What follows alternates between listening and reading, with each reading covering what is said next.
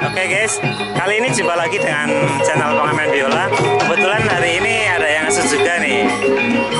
Mungkin eh, Ini Epic Wahyu Aji Sadewa. Eh, kita live hari ini di